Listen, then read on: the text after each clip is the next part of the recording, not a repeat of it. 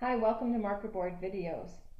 This is the next in our series of Math in Minute videos, Algebra 1. Today we're going to talk about just in general factoring polynomials, and my name is Nancy Foote. So I've taught you lots of different ways to factor polynomials, and now we want to be able to identify which of the techniques we're going to use when we have a polynomial to factor. So let's go ahead and get started.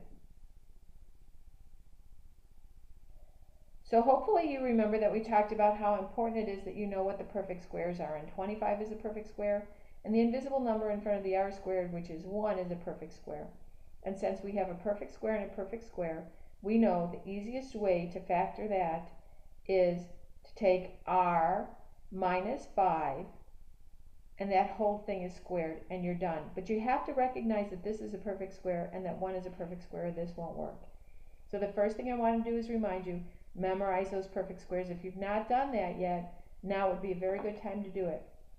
Memorize the square of 1 all the way up to 15, and that should do you just fine. Here's another one.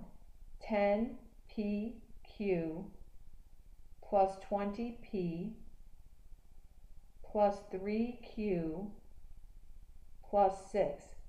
Well, this is a case of factoring by grouping, and I know that because I say well, I like that I have 10 and 20, and I like that they both have a p, so I'm going to put those two together in a group.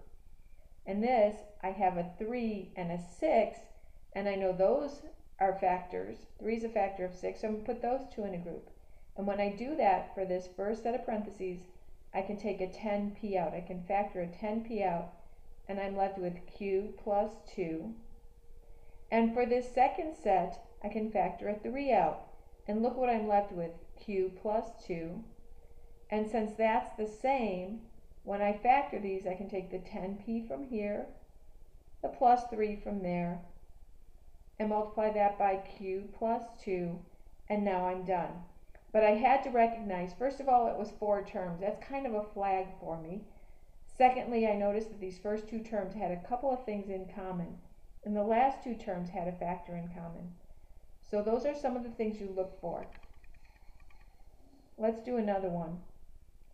d squared plus 9d plus 14. Well, it's good that there's a 1 in front of the d squared. That's going to make my life a little bit easier, but 14 is not a perfect square.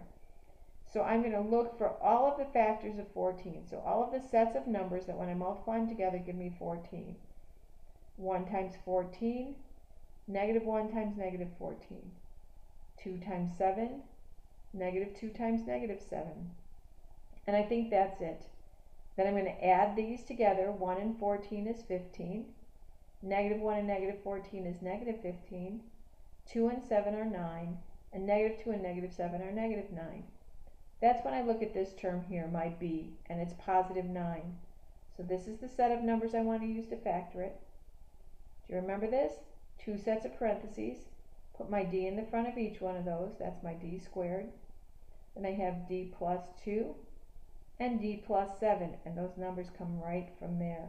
So I'm doing reverse distribution or reverse FOIL, and that is my answer. When you have something that only has two terms, that's a good indication to look for perfect squares. I know 4 times 4 is 16, and I know 1 times 1 is 1. So I know I have perfect squares. And because I have a negative sign in the middle here, and I don't have any c term, I have a c squared, but I don't have a c term, I know that I'm going to set up two sets of parentheses. The square root of 16 is 4 multiplied by c. And the square root of, negative, of 1 is 1. So I'm going to have a minus 1 and a plus 1. So 4c minus 1 and 4c plus 1. I don't know why they call that simplifying because this looks way more complicated th than this to me. So I like to say factoring rather than simplifying. Once we have this, we're closer to finding a solution if we had an equation instead of an expression.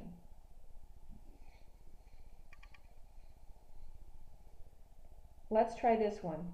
18n cubed plus 15n squared plus 12n plus 10. The fact that there are four terms should immediately get you thinking about grouping. put those two together and those two together. And when we group, remember, we, want to find things inside one of those parentheses that's the same for both of these. That would be ideal. That's what we want to look for. So let's take a look. 18 and 15 each have 3 as a factor in common. And n squared and n cubed each have n squared as a factor in common.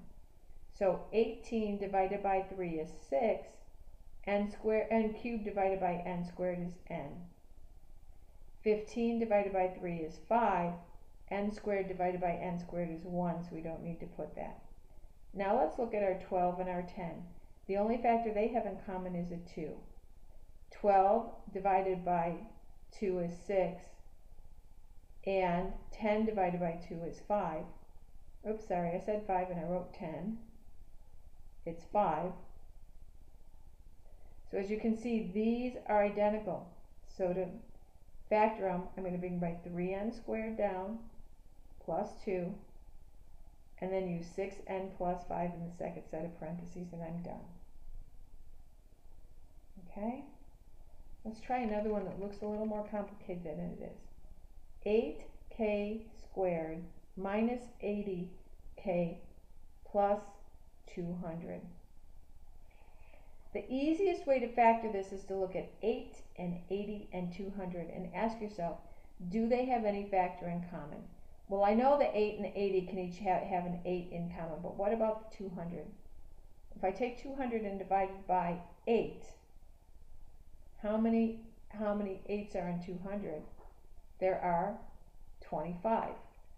So if I factor out an 8, I get k squared minus 10k plus 25. So that's good because I know that there's a 1 in front of this, which is a square number, and 25 is a square number. I'm just going to leave my 8 there, and it's going to be k minus 5 squared. Because the square root of 25 is 5, and the square root of 1 is 1. So there's your answer. Let's see if we can find one more to do.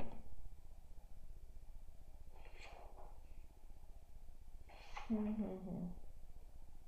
right, let's try this one. This one's kind of kind of involved. 15p to the fifth plus 30p to the fourth plus 20p to the third plus 40p squared. All right, so the first thing I do is I look at all of these and I go, I can take a 5 out, a 5 out, a 5 out, and a 5 out. I can take p squared, p squared, p squared, and p squared. So if I take a 5p squared out, I'm left with 3p cubed plus 6p squared plus 4p plus 8. And now I have to ask myself, what can I do with that? Well, at this point, I see that I have two terms. I, am sorry, I have four terms. So I'm going to put those in two sets of parentheses. 3 3p cubed plus 6p squared and 4p plus 8. Again, I'm bringing my 5p squared just along for the ride. 3p cubed and 6p squared, what they have in common is a 3p squared. And when I take 3p squared out, I'm left with p plus 2. What do 4p and 8 have in common? A 4. And I'm left with p plus 2. Again, bring my 5p squared along for the ride, and it becomes 3p squared plus 4, p plus 2. And that whole thing is times 5p squared. So there you go. There are some things you need to look for when you're factoring polynomials. Make sure you look for them so you know what your cheat codes are so you can make life easier for yourself. If you have any questions or need any additional help, please feel free to email me. Thanks and have a great day.